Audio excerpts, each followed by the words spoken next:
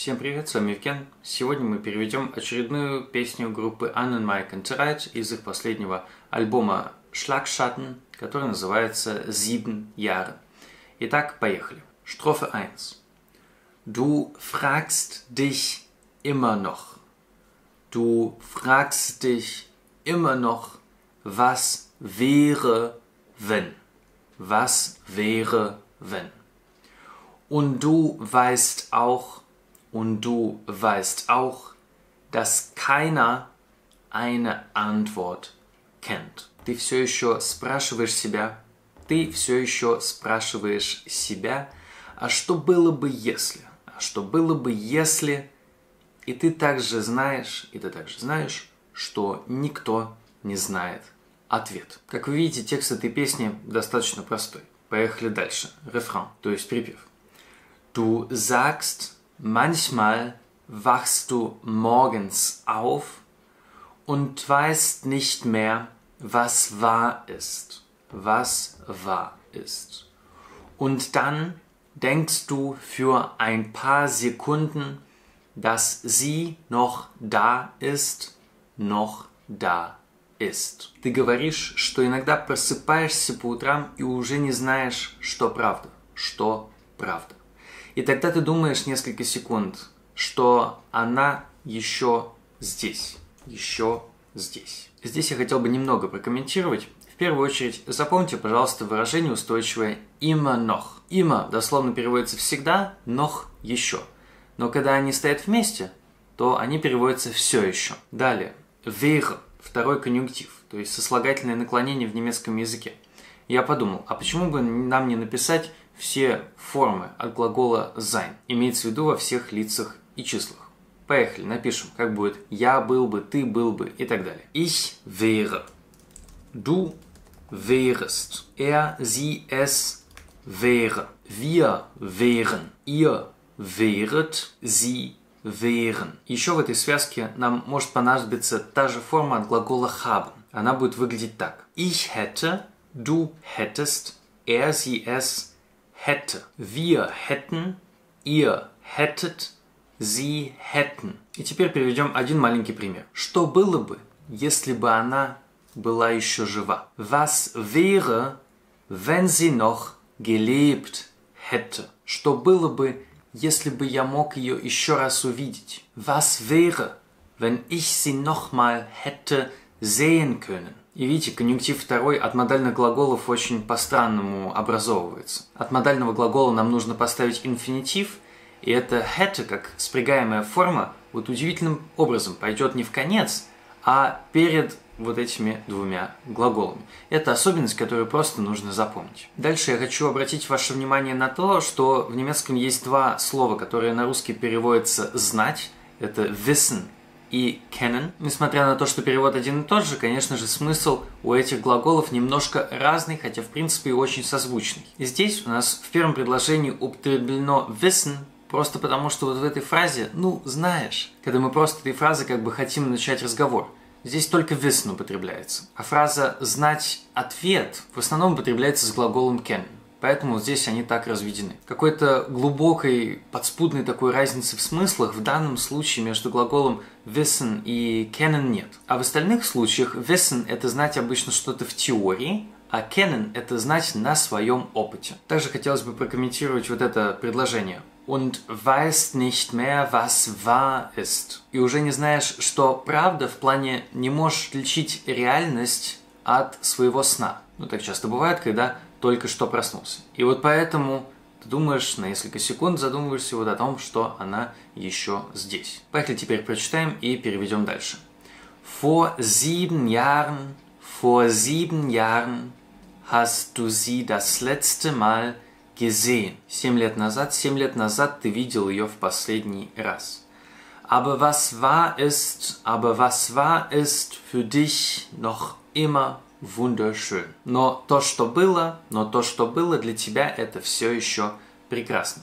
И не путайте, пожалуйста, вот глагол быть, ва, с тем, что у нас, видите, у нас просто до этого была очень похожая фраза. Und weißt nicht mehr, was wahr ist. И здесь «ва» с «ха» посерединке. А здесь у нас тоже «was war ist», только уже не «wahrheit», вот не истина, а просто глагол «быть» в прошедшем времени. И видите, там у нас в начале песни было «immer noch», которое переводилось все еще, а здесь «noch immer». Поменяно местами, так реже бывает, гораздо реже. Но тем не менее, так тоже можно. Дальше еще раз повторяется припев, не будем его перечитывать, он полностью совпадает с тем, что мы уже прочитали и перевели. А теперь прочитаем и переведем бридж. Wenn du deswegen nicht mehr weiter weißt, willst du wieder auf das große Meer hinaus, weil du merkst, dass es für dich weitergeht, sowas kriegst du aus dem Herzen nicht mehr raus. Если ты из-за этого уже не знаешь, как быть дальше, и хочешь вновь уйти в большое море, потому что ты замечаешь, что жизнь продолжается, такое от сердца уже не оторвешь, такое от сердца уже не оторвешь. И вот эти строки, они не так просты для перевода на самом деле. Давайте здесь заострим внимание на нескольких предложениях. Во-первых, вот это. Willst du wieder auf das große Meer hinaus? Здесь мы могли бы сказать, что у нас глагол hinaus wollen, который можно перевести как желать выбраться наружу, хотеть уйти откуда-то. Wieder – это вновь, и auf das große Meer – это как бы к большому морю. У меня в голове рисуется такая картина, что человек от всех своих проблем удаляется куда-то, вот идет в отдаленное место и к морю, на какой-то вот стоит на берегу и смотрит на огромное бескрайнее море, и его это успокаивает. Так что, может быть, даже лучше перевести не уйти в большое море, а уйти к большому морю. Вот так вот. Потому что если имелось бы в виду идти в море в плане на корабль сесть и плавать, путешествовать по морю, то тогда вряд ли был бы предлог auf. И следующее предложение тоже очень интересное. Weil du merkst, dass es für dich weitergeht. Вот дословно эта вторая часть переводится «что это для тебя идет дальше». И здесь нам нужно плясать от выражения «es geht», то есть дела идут. «Es geht weiter», то есть дела идут дальше. Часто это выражение переводится как «жизнь продолжается», «все идет своим чередом». Ну и здесь еще добавлено «für dich». Поэтому я и перевел, что жизнь ну, для тебя как-то не очень звучит, поэтому просто, что жизнь продолжается. Здесь даже, наверное, можно вот это вот, чтобы dich у нас как-то в русском предложении звучало, можно так сделать, что твоя жизнь продолжается. И последняя здесь строчка «Sowas» – нечто такое, «Sowas».